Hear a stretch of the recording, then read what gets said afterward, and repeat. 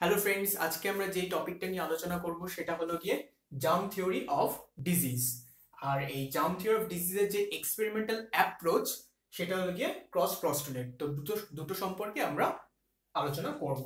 ঠিক আছে? তো ফার্স্টে আমরা জেনে নিই যে জার্ম থিওরি অফ ডিজিজের মেইন থিওরিটা কি? তো সেটা হলো গিয়ে কোনো জার্ম বা কোনো প্যাথোজেন বা কোনো মাইক্রো অর্গানিজম একটা পার্টিকুলার ডিজিজ ঘটানোর জন্য দায়ী। একটা পার্টিকুলার ডিজিজ হওয়ার পেছনে একটা পার্টিকুলার মাইক্রো অর্গানিজম দায়ী। আর সেটাই হলো গিয়ে জার্ম থিওরি তো এই জার্ম থিওরি আসার আগে মানুষজন জানতেন না যে একটা ডিজিজ ঘটানোর পেছনে একটা পার্টিকুলার জার্ম বা একটা পার্টিকুলার প্যাথোজেন দায়ী হতে পারে। তো এটাই প্রথম যিনি এই জার্ম থিওরিটা সবার সামনে তুলে ধরলেন, তিনি হলেন যে আইডিয়াটা দিলেন, তিনি হলেন লুই প্রাস্তুর। তিনি প্রথমে বললেন যে একটা হিউম্যান কোনো হিউম্যান ডিজিজ ঘটার পেছনে কোনো পার্টিকুলার মাইক্রো অর্গানিজম দায়ী হতে পারে। তো সেটাই হলো গিয়ে জার্ম থিওরি ঠিক আছে? কিন্তু তিনি তখন, লুই পাস্তর তখন সেটা এক্সপেরিমেন্টালি প্রুফ করতে, করে দেখাতে পারেননি। তো সেই জন্য এরপরে যিনি যে সায়েন্টিস্ট এলেন, তিনি হলেন রবার্ট কচ। উনি এসে এক্সপেরিমেন্টালি কনফার্ম করে দেখালেন যে একটা পার্টিকুলার ডিজিজ ঘটার পেছনে একটা পার্টিকুলার জার্ম দায়ী। মানে সেই মানে সেটা জাম থিওরি জাম থিওরিটা উনি এক্সপেরিমেন্টালি কনফার্ম করে দেখালেন এবং যেই ডিজিজটা যেই মাইক্রোঅর্গানিজমটা উনি নিয়েছিলেন, সেটা হলো কি? অ্যানথ্রাক্স ডিজিজ আর যেটা হলো ব্যাসিলাস অ্যানথ্রাসিস এই মাইক্রোঅর্গানিজমটা পার্টিকুলার অ্যানথ্রাক্স ডিজিজ ঘটায় ইন ক্যাটেল ওকে তো সেটাই উনি দেখিয়েছিলেন। তো কি করে উনি দেখালেন যে এই পার্টিকুলার অ্যানথ্রাক্স ডিজিজ ঘটানোর পেছনে পার্টিকুলার ব্যাসিলাস অ্যানথ্রাসিসই দায়ী? তো সেটার জন্য তিনি যে এক্সপেরিমেন্টটা এক্সপেরিমেন্টটা করলেন, সেটা হলো ফার্স্টে উনি যেই সব অ্যানিমালের মধ্যে এই অ্যানথ্রাক্স ডিজিজটা পাওয়া গেছে, তাদের থেকে উনি ব্যাসিলাস অ্যানথ্রাসিসটা আইসোলেট করলেন।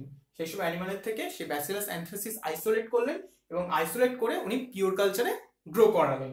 গ্রো মানে পিওর কালচার ফর্মে আনলেন এবং ওই পিওর কালচার থেকে পিওর কালচার তুলে নিয়ে ওখান থেকে উনি রিইনজেক্ট মানে ইনজেক্ট করলেন কিছু হেলদি অ্যানিমালের মধ্যে।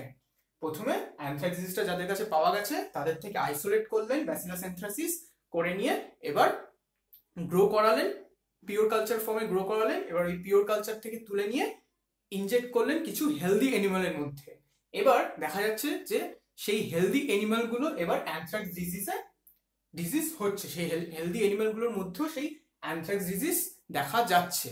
এবং তারপর তখন তিনি যখন ওই ওই ডিজিজ দেখা যাওয়া অ্যানিমালগুলোর থেকে যখন তুমি আবার রিআইসোলেট করলেন এই ব্যাসিলাস অ্যানথ্রাসিস দেখা যাচ্ছে হ্যাঁ এই এই মাইক্রোনিজমটা ওদের মধ্যে পাওয়া যাচ্ছে এবং তারাও সেম ক্যারেক্টারিস্টিক ব্যাসিলাস অ্যানথ্রাসিসের মতনই শো করছে।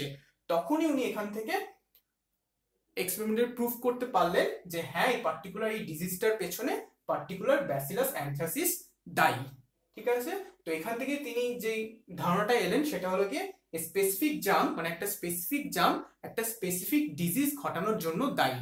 One germ can cause one specific disease ঠিক আছে? এবং এখান থেকে এরপর তিনি একটা পস্টুলেট বা রুল তৈরি করলেন, যেটা হলো কস্ট পস্টুলেট নামে পরিচিত। একটা রুল বা পস্টুলেট এস্টাবলিশ করলেন, যেখানে তিনি কয়েকটা ক্রাইটেরিয়া দিলেন এবং বললেন যে যদি এই ক্রাইটেরিয়াগুলো একটা প্যাথোজেন বা একটা জাম পূরণ করে, তাহলে আমরা তখন বলতে পারব সেই প্যাথোজেনটা বা সেই জামটা ওই পার্টিকুলার ডিজিজ ঘটানোর জন্য দায়ী। তো সেখানে এই কস পস্টুলেটে উনি কয়েকটা ক্রাইটেরিয়া দিলেন। তো এবার দেখে নিই যে কোন সেই ক্রাইটেরিয়াগুলো যেই ক্রাইটেরিয়াগুলো পূরণ করলে একটা প্যাথোজেনকে আমি বলতে পারব যে হ্যাঁ এই প্যাথোজেনটি আমার এই ডিজিজটা ঘটিয়েছে। ঠিক আছে?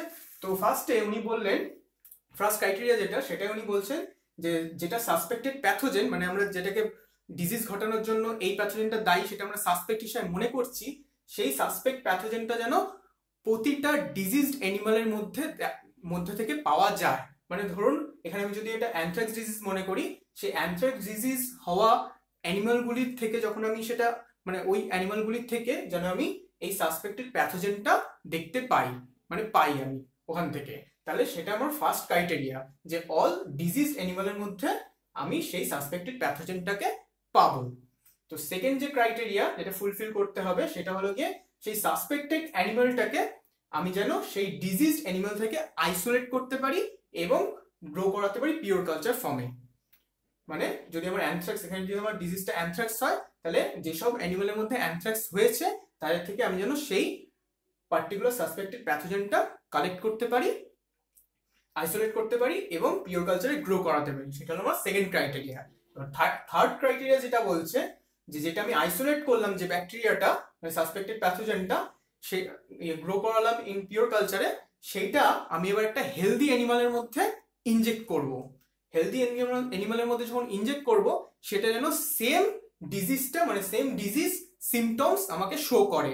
মানে এখানে যদি আমার অ্যানথ্রাক্স ডিজিজ ধরি, তাহলে যখন আমি এটা এখান থেকে নিয়ে আমি পিওর কালচার থেকে নিয়ে যখন আমি কোনো হেলদি অ্যানিমালে ইনজেক্ট করব সে যেন সেম অ্যানথ্রাক্স ডিজিজের সিমটমস গুলোই দেয়।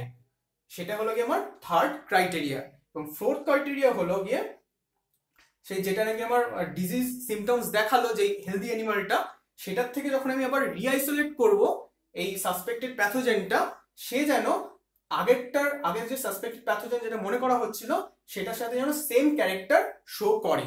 মানে যেটা ডিজিজড অ্যানিমালের মধ্যে যে আইসোলেট করা যে মাইক্রোঅর্গানিজমটা যেরকম ক্যারেক্টারিস্টিক দেখাচ্ছিল, এইখানে হেলদি অ্যানিমালের মধ্যে যে ডিজিজটা দেখা গেল, সেও যেন সেম ক্যারেক্টারিস্টিক শো করে। তাহলে আমরা বলতে পারব যে হ্যাঁ পার্টিকুলার সেই ডিজিজটা ডিজিজটা ঘটার পেছনে পার্টিকুলার সেই প্যাথোজেনটাই দায়ী। তো সেটাই হলো গিয়ে কস প্রস্টুলেট আর এটার থেকেই তিনি প্রমাণ করেছিলেন যে germ theory of disease okay তো this is the whole lecture okay thank you for watching this video